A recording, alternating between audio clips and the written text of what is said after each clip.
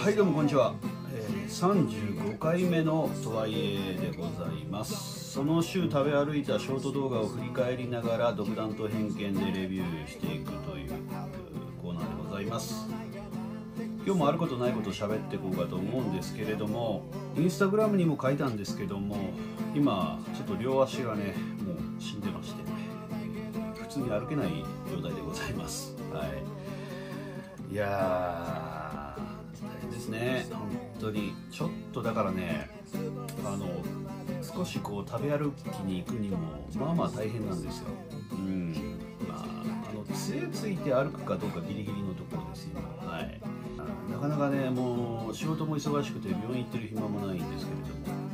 まあやんや言うてでもしょうがないんでね、えーしっかり食べて筋力落ちないように。まあ暑い日が続きますけど皆様もお体ご自愛くださいということで、えー今日もちゃっちゃとやっていきましょうか。もうね今日も二日酔いです。はい。頑張っていきましょう。じゃあ今週1件目の動画から見ていきたいと思います。ゴーゴーカレー安曇野店さんですね。気味の悪い笑顔のゴリエモンカレー。長野県安曇野市豊品にあるお店ですかっぱ寿司のすぐ横かな、えー安曇野のうんえー新進白雪というラーメン屋さんの中に後発的に入ったあお店ですね。ゴーゴーカレー、えーチェーン店が、えーライセンスを取得したのかなんかわからないですけども、うん。まあ、ゴーゴーカレー自体久々に行きましたね本当に。最後に食べたのどこだろう？東京にいた時に食べたかな。うん。十数年ぶりにいただきましたけども。えーゴリエモンカレーですか？これ、えーソーセージが唇みたいな感じで盛り付けられてくるはずがですね、えーなぜかこうレイアウトが変わってるという謎のサプライズがあったんですけども。うんまあかもなく不可もなくって感じですよねここのカレーは、うん、誰でも食べやすいと思いますよ、うん、であのサラダバーあるの良かったですね。サラダバーっつってももう刻んだキャベツしかなかったですけども。うんキャベツ美味しかったですよ。はい。あのごめんなさい。特に言うことないかな。うん。まあね好きな人は好きなんじゃないですか？うん。でも全然悪くないと思いますけどね。はい。ごちそうさまでした。2軒目です、えー手打ちラーメンかじか屋さんですね、えー麺だけなら今年のナンバーワン。山の中で行列のできるラーメン店ということで長野県上田市下武市にあるお店です。以前からね国道沿いにラーメンっていう上りだけは見えたんですけども、えーそこから山の方へ十数分車を走らせるとですね本当に何にもない山の中です。何にもないです。もう民家もポツポツあるかないかっていうところにですねポツンと一軒だけラーメン屋さんがあるんですよ。でそこにすごい行列ができてるっていう、うん。まあ、行列できてるとはいえ30分以上は待たないかな。口コミでしょうね。すごいですよね。うん、それだけやっぱ美味しいラーメンっていうことなんですけども。うん。あのここはね本当にさすが手打ち歌ってるだけあって今まで食べた麺の中でもしかしたら一番好きかもしれないです。うん。つぶつぶのしこしこで。で通常の麺よりもやっぱ長いですね。うん。だからすすり応えがあったりとか。冬場なんかはこの熱々でめちゃくちゃ長い麺をこうハフハフ言いながらすするっていうのはね最高だと思いますよ。うん、スープもチャーシューも申し分なかったですね、うん、すごくこう全体がこうキュッとうまいことまとまったコンセプトしっかりしたラーメンですね。うんこれはよくできてる本当に。で他にも味噌だったりとか、えーつけ麺みたいなのもあるんでちょっとキンキンでもう一回行きたいですよね。でなぜかウーロン茶サービスしてくださってなんなんなんだろう。なんかたまにあるんですよねこういう無言でなんか出てくるパターン。うん。謎ですけども。いやー美味しかったっすね。スープは鶏ガラと返しが結構甘めでねなんかお蕎麦屋さんのスープに近い感じも見受けられたんですけどもうんこのここのスープもうまかったなどうやって作ってんだろうなはいあのここはマジでおすすめなんで皆さん近く行かれた方はぜひ立ち寄ってみてくださいはい。えー次のお店です。唐沢亭さんですね。えー超シンプル蕎麦屋の限定ラーメンということで、長野県東塚間郡千曲郡山形村にあるお店です唐沢そば集落の一番手前ですね。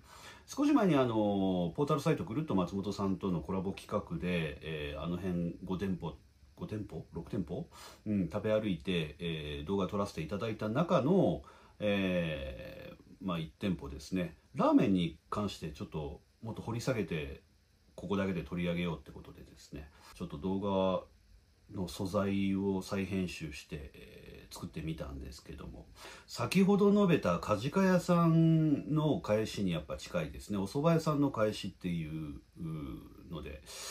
うん、まあ美味しいっすよ、うん、ただやっぱその他の専門店と比べると全体的なグレードっていうのは差があるんですけれども、うん、なんかお蕎麦屋さんのラーメンってうまいっすよね、うん、でこれあえてチャーシューじゃなくてチープなハムなんですけどもこれがまあすごい美味しいこれは。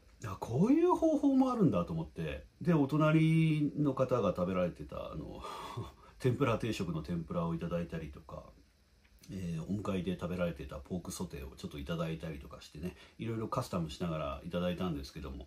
いやここのラーメンは本当うまいですよ。で、えーと、当然ラーメン600円だったかな。うんまあ比較的安いんでこれにあのお蕎麦つけてもいいですし、うん、全然お蕎麦とラーメンいけると思いますよこれ。めちゃくちゃ相性いいと思います。うん。まあ、他になんか丼つけたりとかね。なんかセットで独自で楽しむサブメニューとしては、うん、いいと思いますよ。さすがやっぱ唐沢そば集落はどこで何食べてもレベルが高い。うん。なんかちょっと観光地とはまた違うね。うん。あのガチのそのガチのやつです。言い方がちょっとよくわかんないですけどね。うん。まあごちそうさまでした。美味しかったです、えー、次のお店です。レイレイ亭さんですね、えー、天保そんな気配漂う中華飯店ということで長野県岡谷市神明町神明町って読むんですか？あそこにほらデリシアとかいろいろドラッグストアとか固まってる集落っていう集落っていうか なんかモールの中の、えーと、ちょっと奥まったところに中華飯店を見つけたんで行ってみました。これ多分元天保ですよね。うん。天保から独立された感じがすごくあって。うん。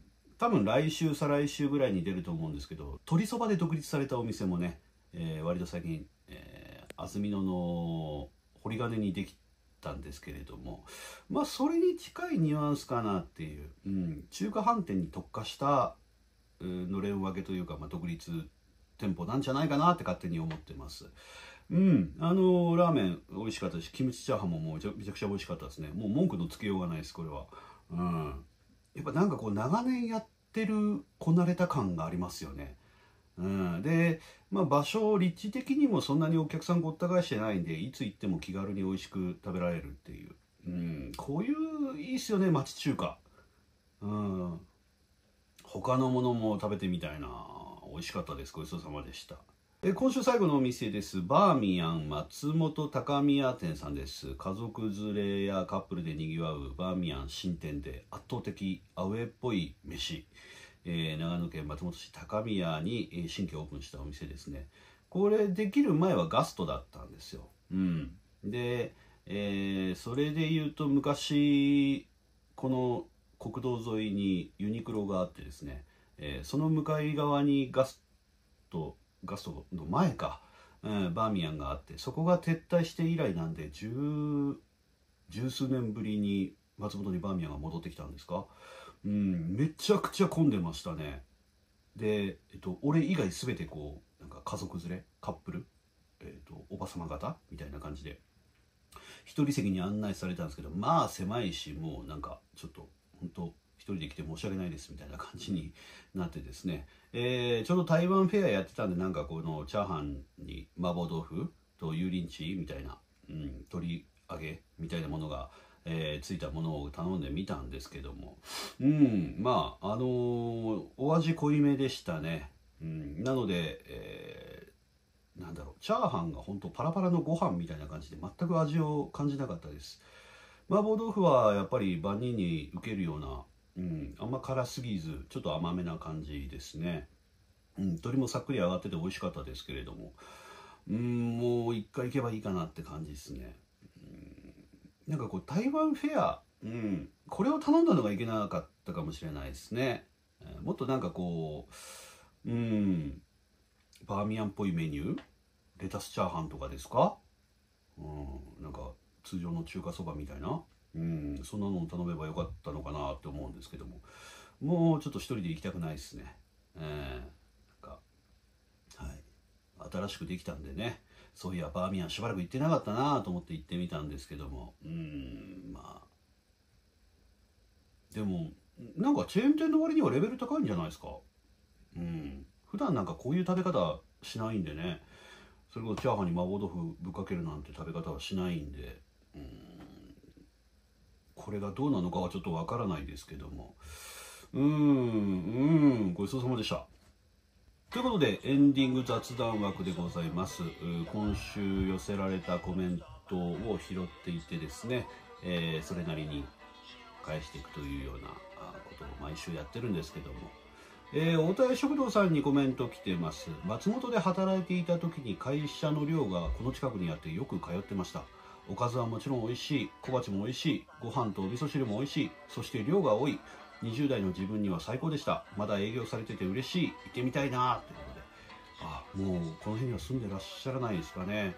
いやこういうコメント嬉しいっすよねやっぱり。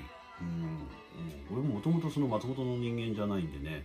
あ松本ってご飯美味しいなと思って何気に食べ歩いてるんですけども。これ多分だから松本から離れて他の地域で食事をするしたりとかねしてこういう動画見るとやっぱ嬉しいですよね。当時自分が住んでたりとか関わってた町のグルメ。うん。いやーなんかこういうこういうコメントもっと欲しいですね。うん。県外の方にこう動画が届くといいですよね、うん、なんか基本的にやっぱもうなんかえっ、とね80から90%の視聴者が松本に住んでるっていうデータがもう出てるんですけども、うん。まあ、大概こうやっぱ地元の人しか見られてないんですけど、まあ、県外の方に見てもらえるようなね工夫もいろいろ今後していく予定なので、えー、末永くお付き合いください。唐沢亭の動画にコメント来てます。久々にサツのライブに参戦してから心が日常の生活に戻るのに時間がかかってしまいました。清春のかっこいい歌声聞きながら美味しそうな食事を見るのはやはり心地よいですということでいつもコメントありがとうございます。そうなんです。よサッツね羽田ゼップ羽田ですか？え、2days ライブがあったみたいでですね。もうセットリスト見るだけでちょっとやばかったっすよね。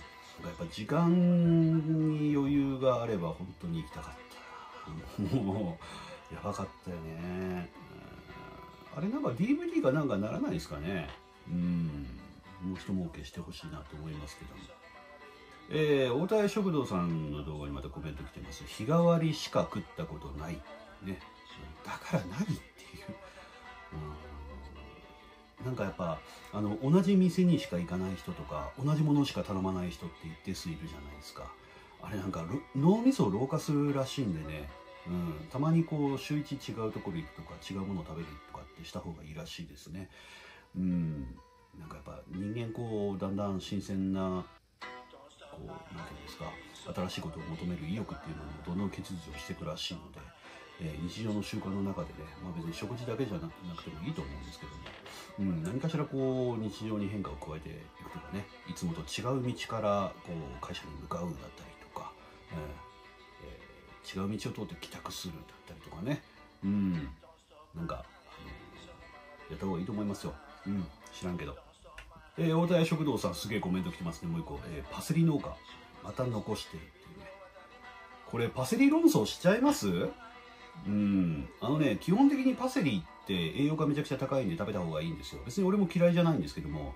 ただ外食においてパセリ食べるのってものすごく勇気いるんですよ。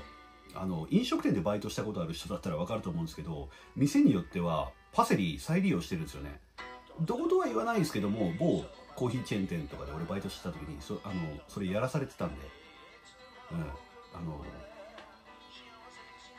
ボウルに水張ってざる沈めといてそこに、えっと、回収してきたお皿で残ったパセリをそこの水の中にバーって入れるんですよ。でざるでザーってもう一回洗ってであの水切ってもう一回盛り付けるっていうことをやってたんであのそれでも良ければ食べたい人は食べればいいと思うんですけど俺それ見ちゃってるし大体あこのチェーン店やってるんだとかうんあのー分かってるしそれで言うと個人商店なんかねここちらの大田屋食堂さんやってるかどうかは分からないですけども、うん、今いろいろほら物価高くなってきてるじゃないですか、うん、だからその付け合わせのお野菜に対してそこまでコストをかけてるのかなとかいろいろ考えた時にじゃそれ食べるっていう選択肢もねあの知ってる人間からしてみたらちょっとうんあの選ばないなっていう俺個人的な意見としてはね,、うん、ね皆さんはどうですか？今の話聞いてそれでも食べたいと思います？パセリ農家だから他のお客さんが残したものでも食べる。それは全然あのパセリ愛がすごいと思いますけど俺別にパセリに対して何にも無人も思わないんで、うん、あってもなくてもいいと思ってるんで、うん、だからあの当然農家さんは素晴らしいと思いますよそうやって。あの付け合わせがないと彩りっていうものはね担保されないんでパセリっていうものは必要なんですけどもそれはあの食べたい人はご自宅で食べた方がいいと思いますそれは。うん、でもっと踏み込んだ話すると実はその栄養士会栄養士会じゃないな何だろう、えーと、飲食店組合とかに配布されてるパンフレットあるんですけどあれ全部中性洗剤で洗ってください、えー、漂白剤で何 ppm で何分以上除菌してくださいって書いてあるんですよ。だから付け合わせの野菜って基本的に食器洗い洗剤で洗われてて漂白剤で除菌されてるものなんですよ。でこれが果たして安全かっていう問題もあるんですよね。いわゆる組合的には食中毒を出したくないんですよ。だったらそういうケミカルの残留が残ってて健康被害後々ね食べたものの蓄積によって健康被害に陥ったとしてもまだそっちの方が断定はされないじゃないですか。このお店のせいだってならないんで。食中毒を出さないためにそういう加工されてるっていうのも踏まえた上で、えー、食べる食べないの判断された方がいいと思いますはいこれは私のあくまで、ね、個人的な主観というかあのいろんな学んだ上での経験と知識の上でお話をしてるんで、はいあのー、感情論で話したい方はまたちょっと別のところで勝手にやってください。え以上です。えー、大石屋松本店さんの動画にコメント来てます。だいぶ前の動画ですよ、これ。えー、知人が元気に仕事してます。丁寧な対応は素晴らしいということで。あのー、お石屋さんちょっとまた行きたいですね。うまいっすよ、やっぱ。うん、いつ行っても混んでるけども、混んでるなりの理由がありますよね。うん、で書かれてる通りやっぱり接客は本当に丁寧で素晴らしいと思いますし、うん、あのラーメンもねスープ多めですごい好きなんですよ、うん、うまいっすよね。えー、レストラン十字路さんの動画にもコメント来てます。これもだいぶ前の動画を再編集してアップロードしたんですけどもなぜか今回すごい動画伸びてますね。えー、十字路の前は何回も通るけど入ったことないわ。ってことで。何の報告なんだろうな。これどういう心理状態なんだろう。うん。なんかわざわざ動画のコメント欄を開いてこれを書く理由が何なんだろう。だだから何って感じですよね。どうしてこんな意味のないことに手間暇と時間をかけるのか意味が分かんないですよね。うーん。なんだろう。こういうコメントたまに来るんですけど本当に意味が分かんないですよね。な謎ですよね。え？どういう心理状態？ちょっと詳しい方教え 教えてくださいこれ。不思議だなえー、前回の「とはいえ」にコメント来てます。ちょっともうね長いんでスルーしようかなと思ったんですけど一応書いていただいたんで読みますね。えー、っと「たけろくラーメンあからさまに牛骨経験少ない人がああだこうだ言ってるだけですね。個人的には、えー、稲の竹六お上がり亭なので完全同じではないと思いますが相当よくできてると思いました。あれをスパイシーにしていくと焼肉屋のテールスープっぽくなっちゃいそう。がむしゃらはかなり前からある豚骨醤油の太麺が本当におすすめです。カリドエスプーマもうまいですが長文失礼しました。ありがとうございます。この方も結構詳しいですよね。なんか何個か前もコメントをいただいてたと思うんですけども。うん。あのまたご意見ご感想あれば書いていただくとね、はい、えー、気分で拾っていきたいと思います。はい、すいません。あの、今週はちょっとね、全体的に、なんだろう、うん、なんかこう気分が乗らなかったのかな？わかんないけど、えー、あの、一個一個のレビューがちょっと短めっていうね、まあ、たまにはいいじゃないですか。うん。俺だってね、なんかこう、好き好んでやんや喋ってるわけじゃないですよ。酒を飲んでわかんないけどね。うん。なんで喋ってんだろうね。うん。なんだろう。まあ、こういう時があってもいいじゃないですか。ね。はい。皆さんもそうでしょ常に調子いい時ばっかじゃないと思うんですよ。うん。やっぱこう人の気持ちとかね、なんかそういうものが移り変わっていくんじゃないかなと思いますけども。えー、まあこういうね、ちょっと、なんかおっさんがダラダラ緩急つけながら喋るみたいな、うん、毎週やってますんで、また来週もぜひ、よろしくお願いします。はい。じゃあ今週はこの辺でありがとうございました。失礼します。さよなら。バイバイ。